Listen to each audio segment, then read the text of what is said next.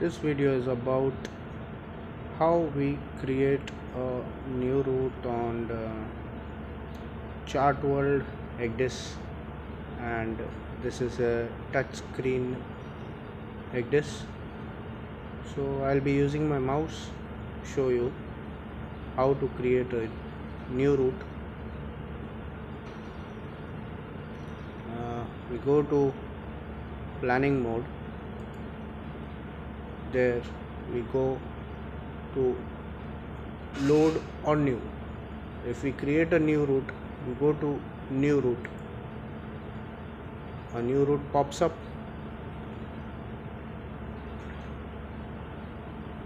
The window is open. We go to the desired position we need to start our route.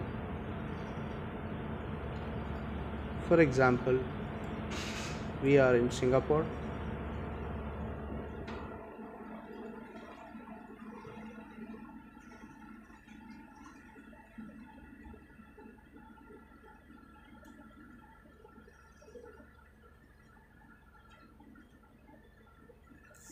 We go to the desired position where we can we lay the far first waypoint.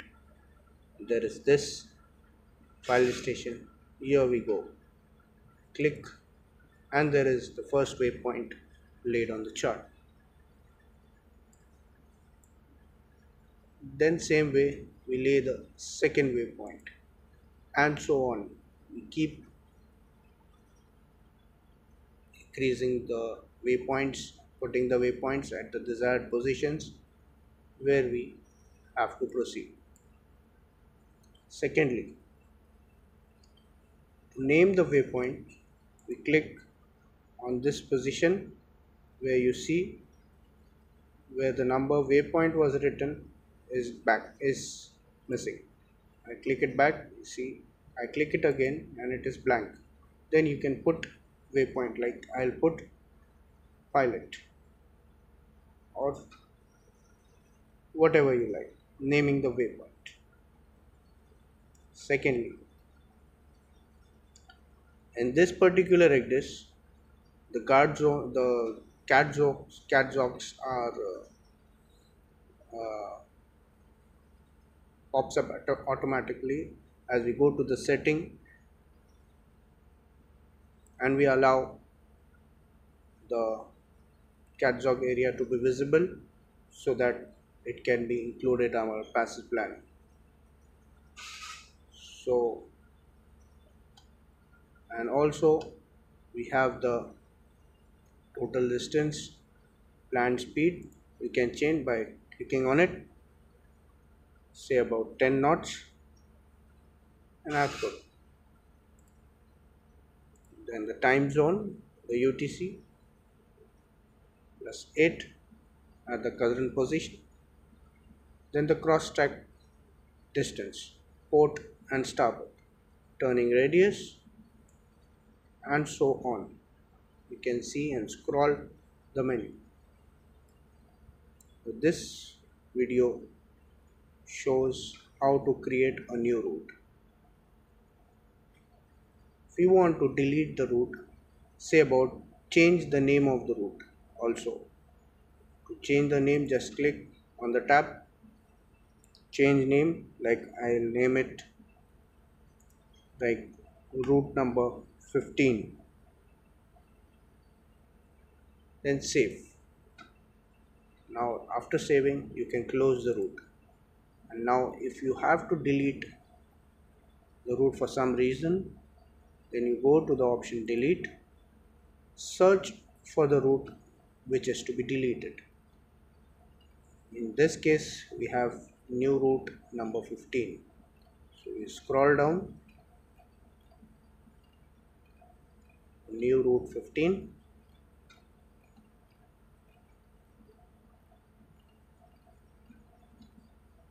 and here it appears. Click on it and delete. So the route has been deleted.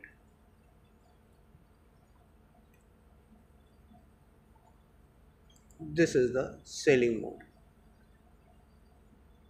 To activate a route we go to nav settings we go to route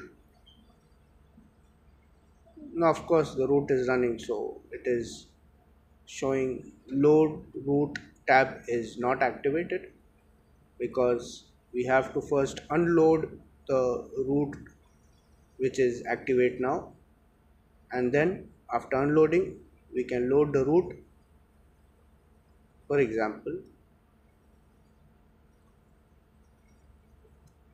I will unload the route and load it again. So the route is okay. Save select the desired user chart which you have made for the particular route which I have made Singapore West to East Malacca Strait.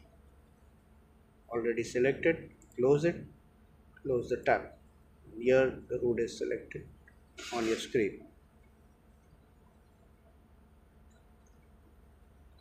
Other chart settings you can see in the chart setting options the chart display IMO categories base standard and all customs.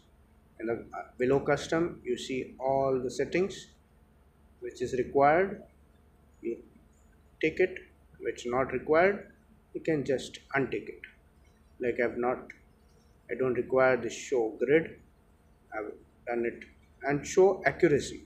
This is always required when you are planning the passage.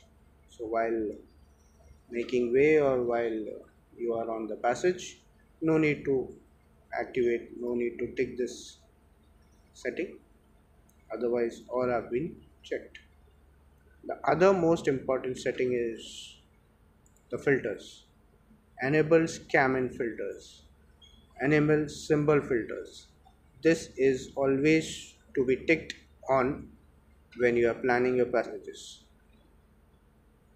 others are like the style points traditional area boundaries plain or symbolized and rest are maybe you all know about that. Other settings you can see the settings here.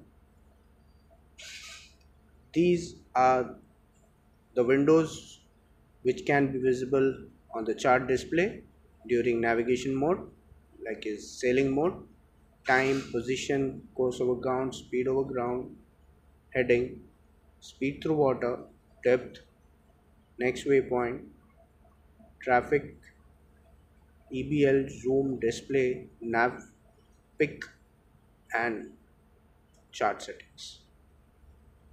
So in this tab you have multiple settings here. You can activate and deactivate the touchscreen option. You can change time zones here.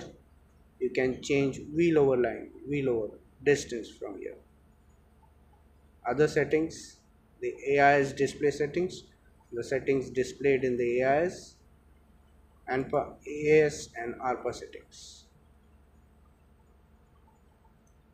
Go back to the integration mode. Here you see there are multiple options here.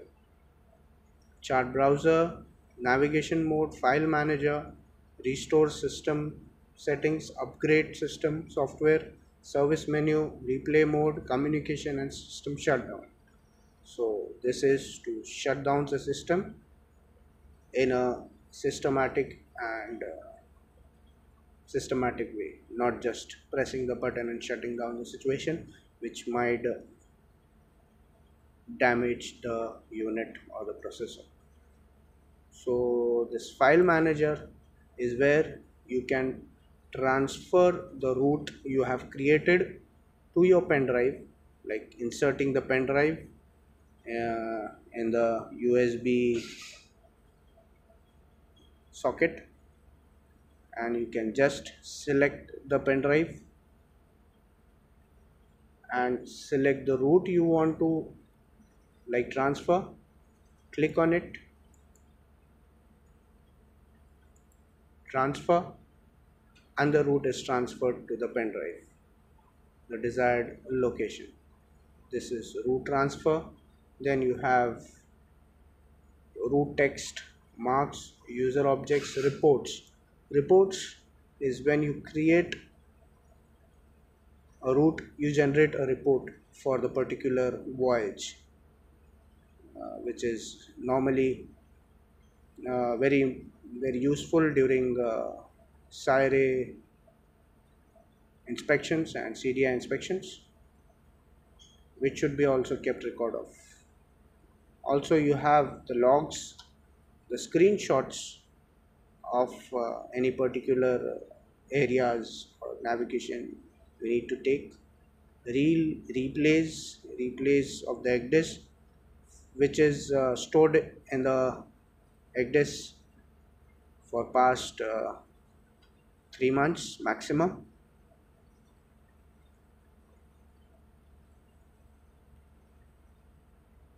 Routes and reports. So we exit. Go back to navigation mode. Sailing mode.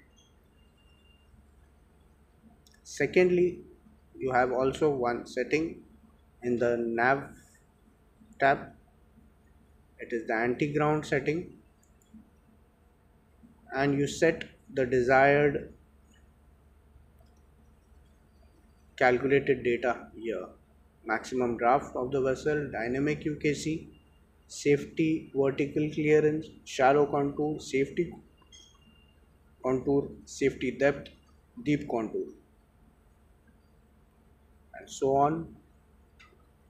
Look ahead port side starboard side and time you want to when you go to the own ship option you see all the sensor settings which are green indicates uh, the system is in good order. Predictor this own ship symbol outline speed vector size which is on and you can change the size by 1 minute 3 minutes 6 12 24 and 30 minutes.